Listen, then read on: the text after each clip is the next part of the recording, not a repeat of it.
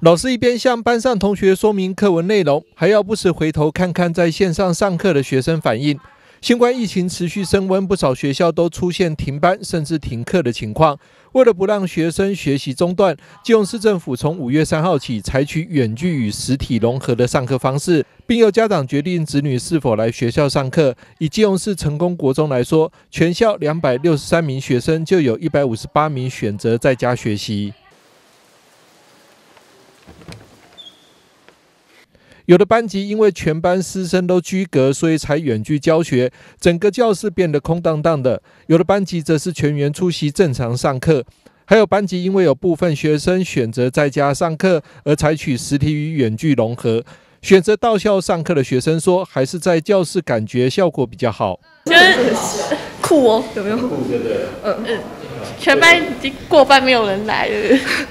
过半没人了。嗯，因为全都在线上。都在线上。那这样你学习觉得感觉怎么样？就不太好，不能见到同学。就是考试的话会被那个成绩会就是被挡着。哦。嗯。他除还有。就老师可能会怀疑说你考试会作弊之类的，然后就把你成绩打下去。哦。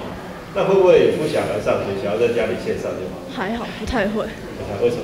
因为比较听的，就是效果比较好。老师则认为，设备充足下，远距与实体融合上课不是问题。不过，学生在家上课的学习效果比较难掌控，有很多不同的样貌。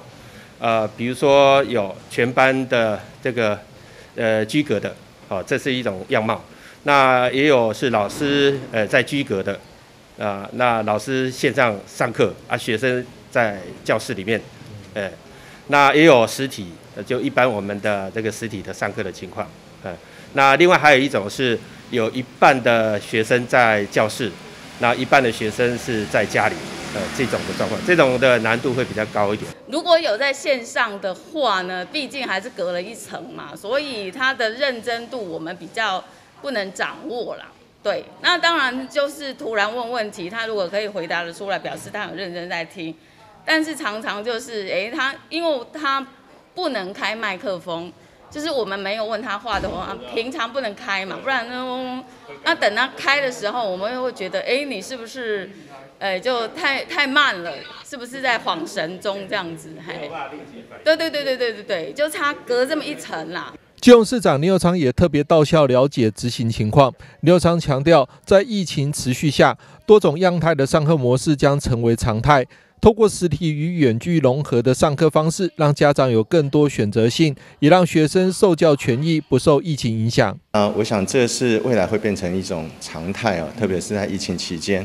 那有的人是在居家，有的人在实体哈，所以怎么样把它整合在一起？那呃，所以呃这样子的一个方式呢，更重要的是提供我们的家长，啊，也可以。呃，是他自身的一个情形啊，来做一个选择。好，所以小朋友可以选择实体上课，也可以选择呃在家上课。我想这是未来的一个方向啊，我们也已经做好准备。根据基隆市政府教育处方面统计，实施实体远距融合上课首日，基隆市立高中国中及国小学生在家远距教学的人数超过一半，达百分之五十一。教育处方面表示，实体远距融合的上课模式将持续到疫情和缓、停班甚至停课的状况减少为止。记者张启腾、金融报道。